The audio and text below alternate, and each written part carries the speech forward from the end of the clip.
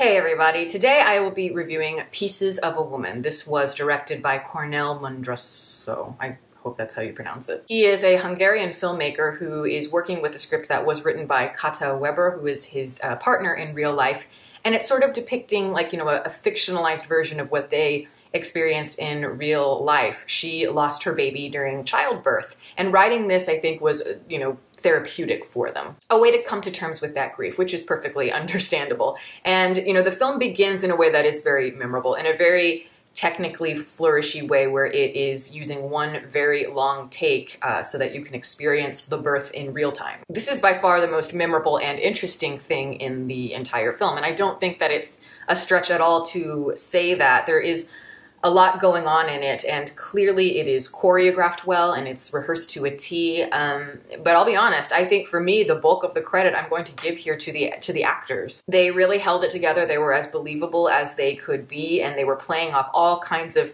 of different shifting dynamics throughout. So many different emotions are so in limbo in this sequence. They're experiencing the highest of highs and then the absolute lowest of lows, all within the same camera take. And they do it very seamlessly, very authentically, and it's it's just a very good uh, ensemble performance. I know I've said this before on the, on this channel, definitely, but when you're doing a really kind of long shot, one that's going on for uh, long periods of time where there is no cut and it has to be meticulously staged and choreographed, it can be amazing in the right circumstances, but it can also come off as a gimmick. I think a reason why a lot of these shots aren't really criticized is because people get very wrapped up in it. You know, they get titillated by the uh, technical bravura of it rather than questioning the meaning behind the actual shot. I think it's kind of a clever distraction from a lot of the things that actually matter. And I, I point to scenes that didn't work for me would be like that really long shot in the aftermath of war and atonement, a really insufferable long takes and shame, you know, with Michael Fassbender running or Carey Mulligan doing that New York, New York solo. For me, the emphasis in those scenes is more on the technique and the mechanics behind the manipulation rather than the actual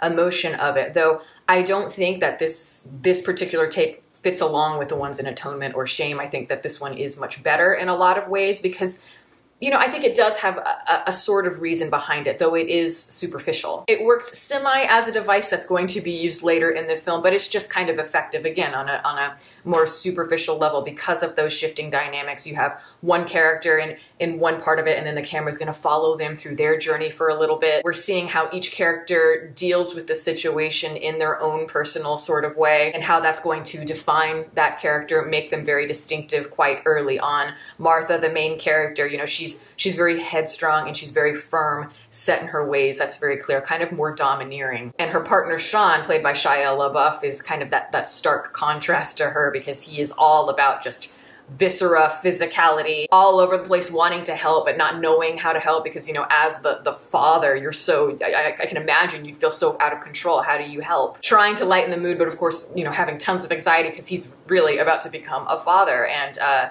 the midwife here, you know, is doing her best to just keep things rolling, to deliver this baby. And I really think that she does a really good job of subtly expressing that shift into the dark place, expressing such elation and then a slight skepticism and then total alarm that this baby not, may not survive. That being said, there was a lot about this shot that I don't know, rubbed me the wrong way early on. Like I just had a bad feeling about the movie going forward. And I think there was something about kind of the, the artificiality of it. And once you start the film like that, I worry, you know, like where do you go from here? That's the real question. Do you do you broaden your scope and kind of explore inward the uh, moral and emotional complexities that might stem from such an event happening in your life? Or is that going to kind of serve more as a manipulative manipulative trope and you're going to narrow the scope and cheapen the overall concept. And unfortunately, my intuition was right, at least from my point of view, because after that opening sequence, it's all kind of downhill from there. Uh, the rest is just kind of like a meandering slog of a movie.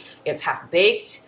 It's boring. It's full of devices that sort of materialize and then they completely dissolve before they they form to anything, leading us nowhere. And it reduces this this very dark story of, of pain and loss to just a simple formula that's neatly tied up for us. Which again begs the question, what, what's the point of, of making a film like this? So you don't misunderstand, I absolutely think it's a wonderful thing when you work through your trauma that you've, that you've experienced in your life through your art. I think that's a wonderful thing. I always encourage people to do that. I certainly have done plenty of it. And for those that go through very dark things like that, you know, of course you have my deepest sympathies, but at the same time, I think you have to be very careful when you're trying to construct a story of it for the public. Because I always have the belief that once something is is out in the open, it's for them and not so much about you as an author. It's more a shared experience because other people who who read it, who watch it, whatever, you know, medium that you're using, they're going to take parts of their life, aspects of their life that they've experienced and project it onto that. So if it's good, it can bring depth and resonance to all sorts of people. But extremely emotionally heavy subjects like this often run the risk of feeling exploited when they're not really explored. And that distorts the overall effect for those who have experienced it. And I think a lot of emotion, you know, for emotion's sake, ultimately leaves me more insulted than anything. Once the birth takes place, the rest of the movie is trying to be this like artful uh, meditation on depression and, and coping with death, but it's it's very very skeletal. It's kind of like a, an echo chamber that's emphasizing a lot of silence, a lot of subtle behaviors, a lot of artsy pillow shots of like dead plants in the window and, and, dirty dishes in the sink. Dates show up on the front of the screen to show the passage of time, like September 25th and November 14th, as if to build some sort of tension that will pay off later, but it's it's kind of a completely aimless device, it turns out. Your protagonist arc, though, is finally set in motion here, and I've got to give it to uh, Vanessa Kirby, who plays Martha in the film. She holds this film together effortlessly. She deserves all the credit in the world for bringing a lot of gravitas to a very underwritten character and bringing out all of these subtle shades of intrigue. She has a real confidence in her ability to convey subtext, but her icy, sort of lethargic, uh, hardness is able to keep a lot hidden from us. So we're always pondering what's going on in her mind, and the characters around her are always uh, wondering what's going on in her mind. And she really has her back to them metaphorically and her back to the audience as well. And I do actually find it refreshing that she's not some sort of, you know, hysterical, destructive head case like you get in a movie like uh, uh, Antichrist or like Isabelle Adjani in, in uh, Possession. Not criticizing those films, but you know, I just mean it, it's a different style. Again, she's very elusive. She handles things very differently, and I just found that to be interesting. She has a quality about her, the actress, you know, that reminds me a lot of the like old European actresses from like the 50s and the 60s. She's like Liv Ullmann or, or Monica Vitti. Women who never have to wring the emotions out of a scene. They never have to ask you for anything. They just kind of kind of do it effortlessly. It's all very naturalistic, a complex frigidness, but yet there's something brewing inside of it. She can carry moments that don't pay off and she can carry scenes that go nowhere and she can do things like make very silly, kind of overwrought, artsy moments like, you know, the red lipstick and eating the apple somehow feel haunting. Shia LaBeouf is fine in the role. I mean, you know, he's he's as adequate, I think, as he has been uh, in the past. I do like him a lot. I think he's a likable screen presence. He's playing somebody here who is very turbulent and very confused and very physical, and I think he's a very physical, impulsive person and a physical, impulsive actor. So he can he can, you know, identify with a lot in that character. And to an extent, you do feel bad for him because he is very confused and very sad, and he's trying to emotionally open himself up uh, and try to make things better, whereas his his his partner,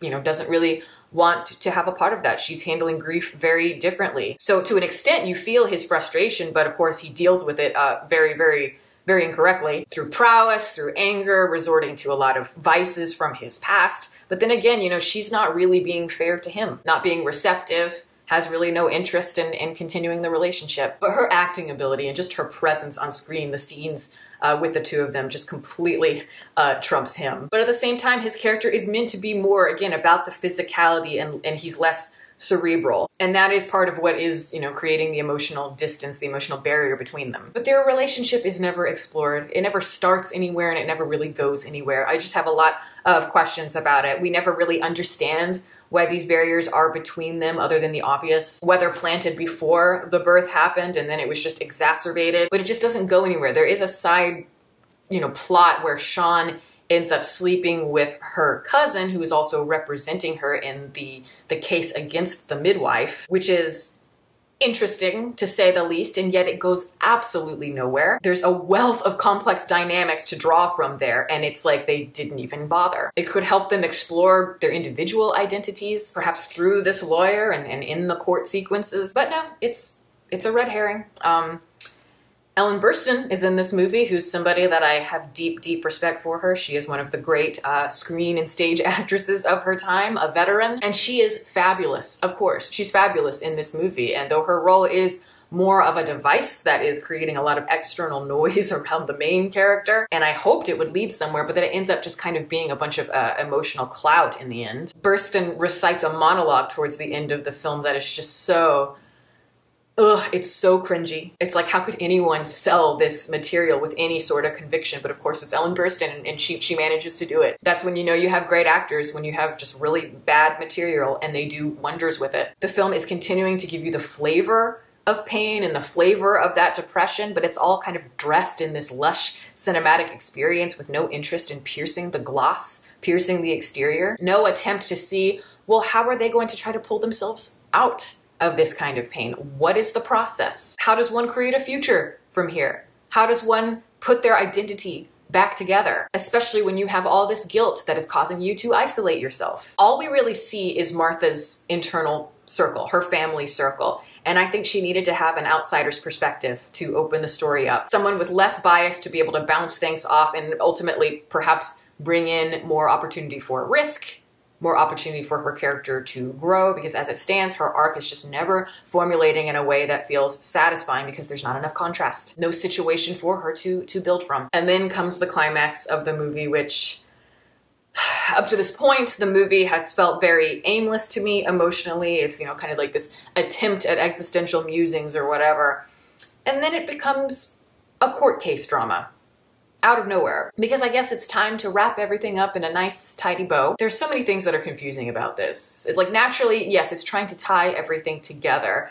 Uh, especially the opening. It's kind of like a book ending sort of thing. Trying to create some sort of satisfying payoff, including that opening scene. None of these devices are paying off in a dramatic sense. It's like, okay, so what was that opening trying to achieve then? Is it supposed to be a symbol of memory?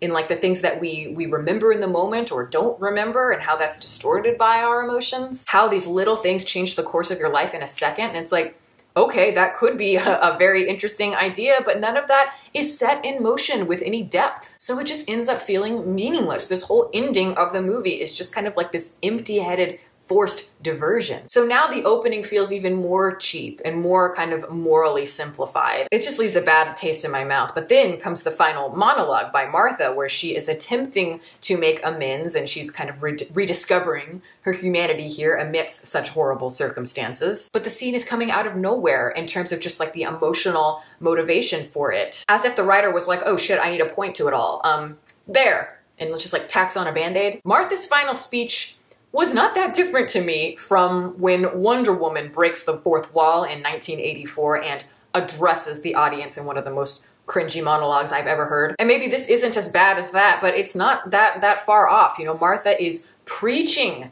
to the audience about what she's learned. It's about the friends we make along the way. If you are a writer and you maybe went through something that was very difficult and it was hard to overcome, and you are channeling it through art and you're wanting to put it out there for the public. So hopefully, maybe people with shared experiences won't feel so alone or it can resonate with other people. Again, that's that's totally fine. I'm for it, but please before you do that, ask yourself some questions. Ask yourself truly. Look in the mirror and ask yourself, why am I doing this? Do I really understand the event? You know, like if I step back with perspective, do I really understand it? What are you wishing to explore from it? And what are you hoping to gain from writing it? And what are you hoping to gain in terms of your reaction? How does your perspective change on the experience? I think these are really uh, direct and very important questions that you need to have good answers for. The last thing you want as a writer is for these emotions to feel exploitive or trite because you weren't quite ready to explore them artistically. And from my point of view, that's what happened here. and I'm not a fan of Oscar bait. Sorry. Uh, that's my review. Thank you guys so much for watching. Here are my Patreon supporters. Thank you guys so much for everything. If you like supporting artists, I am an artist. I do commission portraits and I sell prints on my website deepfocuslens.com. The link for that is below. If you're interested in working with me, uh, you can DM me, and I'm happy to answer any questions that you have. Beyond that, all my social media is below. You can watch more videos here, and you can subscribe if you'd like. Catch you next time.